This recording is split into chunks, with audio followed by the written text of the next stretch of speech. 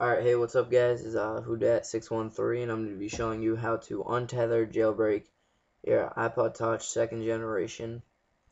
Uh, this is untethered version so you can reboot whenever you want and it'll, everything will work.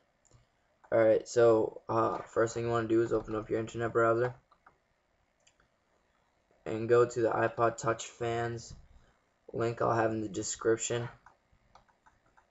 and then you want to press right here right here you want to press the download button? It'll take you to the quick freedom down uh, web page. And now what you want to do is you want to click download now. Should wait for it to load. And then it'll say save here. But uh, I already have it saved to my desktop so I'm not gonna do it. But just save it install it.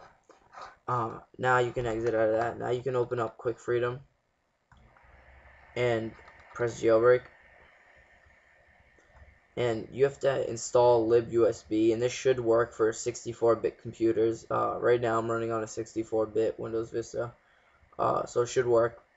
And then uh, the original 2.2.1 firmware you can download it. If you press download it it'll take you straight to this website and you can download it right here. So and then once you do that once you have the libusb and the firmware downloaded click next. And now uh, if you want you can add installer or you don't have to. I'm not gonna. Or and you can add a custom boot logo. So I am. I'm gonna add this this pineapple right here. So then what you want to do is you want to create the firmware. Now it says right here this process may take 5 to 10 minutes uh, and it does around there. So let it just create the file and uh, I'll be back when that's done. Alright hey guys is uh it is almost done. It's at 98% so just wait it out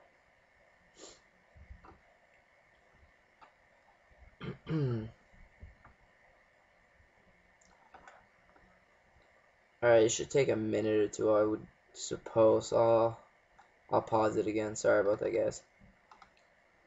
Alright, it's back. Um, and I am done. It says successfully created firmware, and then it tells me the location. And then if you see right here, this is a custom firmware.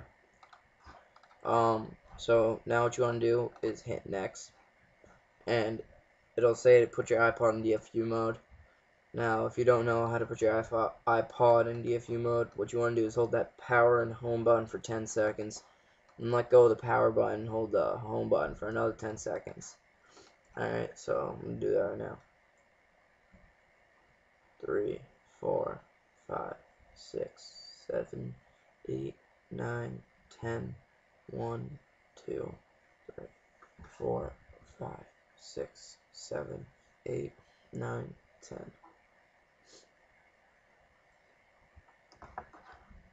Now your screen should be black. Um, should be blank. There should be nothing on it. And um, it'll say right here if you connected it right. It'll say iPod connected in DFU mode. Press start pre-jailbreak. So let's go ahead and do that.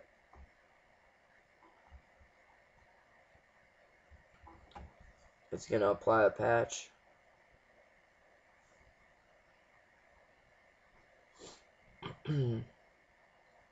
now your screen should be turning white.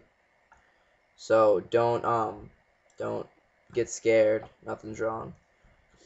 Now it'll say here iPod successfully put into pre-jailbreak mode. Now restore your custom firmware in iTunes. This file should be located on your desktop. So okay.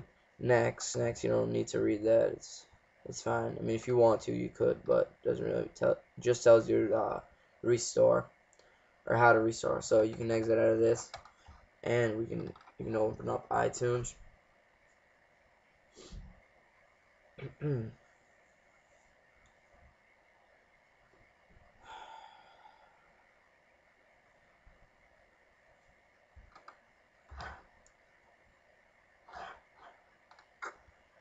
Alright, iTunes doesn't seem to be popping up for me right now. Give me a second. I'm gonna pause the video.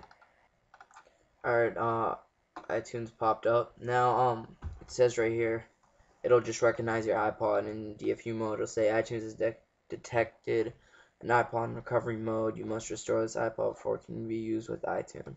So, okay that. Now, what you want to do is hit Shift, and you have to click Restore, but you have to do this at the same time. So, hold Shift, and then click Restore. And this little box will come up right here. And then the custom firmware should be saved onto your desktop so you can go here and then go to local disk users and then go to desktop. Or you can just go to desktop whatever is easier for you. And then you want to click on the custom firmware not your restore file your custom firmware and click open. Now it'll say extracting software and your screen should still be white until the next step right here. Give it a second.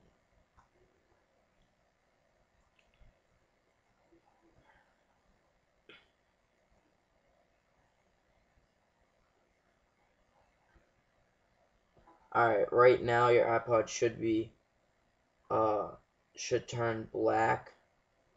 And then the your custom boot logo or your Apple logo, whichever you did, should be there. And it should be restoring so I'm gonna come back when this is done restoring. Alright uh, I'm back and it is done restoring.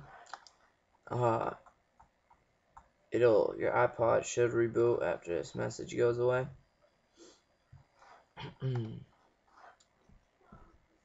Uh, so it should be rebooting right now. Or booting up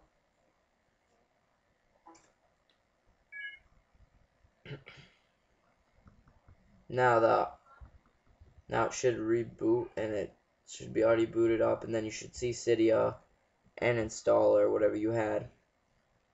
And um, everything should be going well.